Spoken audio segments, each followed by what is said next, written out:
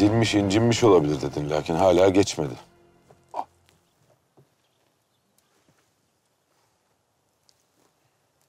Verdiğin merhem de kâr etmedi. Epeydir yoldayız hünkârım. Sefer şartları, istirahat etmeniz icap ederken mütemadiyen ayaktasınız. Ağrılarını kes kafi. Tesirli bir merhem yapacağım hünkârım. Fakat bir müddet üzerine basmamalısınız. Aksi halde fayda vermez. Cihangir'im nasıl? Onu ihmal etmeyesin. Ben de bu hususta malumat verecektim. Ağrıdan sızdan uyuyamaz oldular. Çok fazla ilaç alıyorlar. Bu da midesine dokunuyor. Şehzademizin sağlığı daha fazla bozulmadan payitahta dönmesinde fayda görüyorum.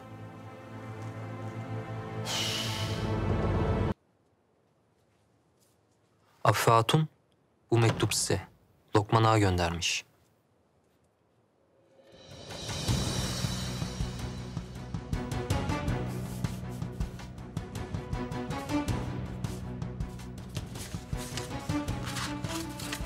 Afife Hatun'um. Hünkârımızın sıhhatiyle bizzat alakadar oluyor, elimden geleni yapıyorum. Lakin biliyorsunuz, hünkârımız hayli inatçı. Ayrıyeten çetin bir diyardan geçiyor, dağları bayırları aşıyoruz. Bundan mütevellit, hünkârımızın sıhhati eski haline bir türlü kavuşmuyor. Yetmezmiş gibi şimdi de hünkârımızın ayaklarında şişlikler çıktı. Hekimbaşı ciddi bir hastalığın habercisi olabilir dedi. Hünkârımızın bu seferden sağ salim dönmesi tek arzum. İnşallah o günleri görürüz. Afife, Prenses Anna'nın şerefine bir ziyafet tertip edilmesini emrettim. Cariyelerin başında dur. Kaytarmasınlar. Eksik gedik olsun istemiyorum. Emredersiniz sultanım. Sümbül'den kahve almalarını istemiştim. Getirdiler mi? Sümbül Ağa bizzat kendi getirmek istemiş sultanım. Kahveci efendi birazdan gelir. Ayla, çekilebilirsin.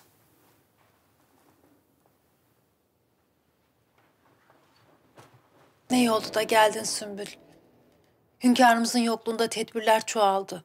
Saraydan dışarı çıkamıyorum. Rahmetli oğlumun seneye devriyesine kadar bu böyle. Ay sultanım. Zaman ne çabuk geçmiş. Allah rahmet eylesin. Amin. Sen de o gün gelirsin değil mi? İki elim kanda olsa gelirim sultanım.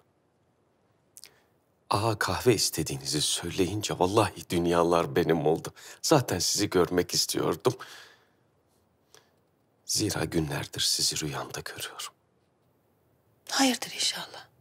Sizi bir karanlığın içinde görüyorum. Daha doğrusu sesinizi, çığlıklarınızı işitiyorum. Koşayım yardım edeyim diyorum ama sizi bulamıyorum. Keyfimi kaçırmaya mı geldin? Bu aralar ihtiyatlı olmakta fayda var.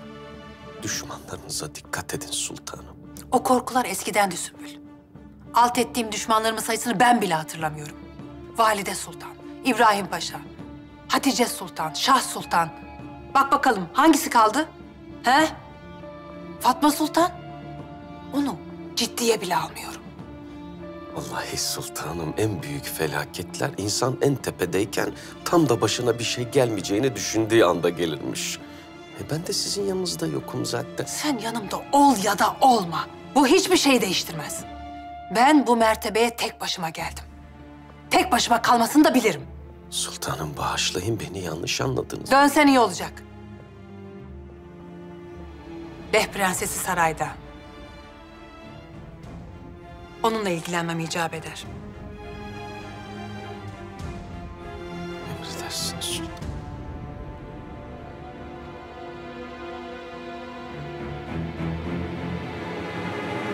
Mimarbaşı Sinan Ağa haber yollamış sultanım. Rahmetli Şehzademiz Mehmet Hazretlerinin aziz hatırasını yaşatmak için hünkârımızın yapılmasını emrettiği caminin inşası yakında bitiyor. Evladım Mehmetsiz kaç bahar geçti Afife. Sayısını hatırlamıyorum. Cami bitiyor demek. Seneye devriyesine yetişir mi? Zannetmem. Vaka ilk namaz için hünkârımız beklenecek. Vakfımda vaziyet nedir? Hazırlık yapıyorsunuz değil mi? Merak buyurmayın sultanım.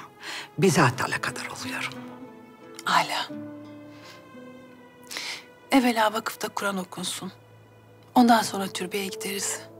Hünkârımız için de hep birlikte dua ederiz Afife. Sağ salim zaferle dönerler inşallah. Amin. Amin. Haftaya Cuma günü Sultanımız Şehzade Mehmet'in türbesini ziyaret edecekler. Lakin ondan önce vakıfta Kur'an okutulacak. Tedbirinizi ona göre alın. Aman diyeyim bir aksilik çıkmasın. Siz merak etmeyin Hafife Hatun. Bir sıkıntı olmaz.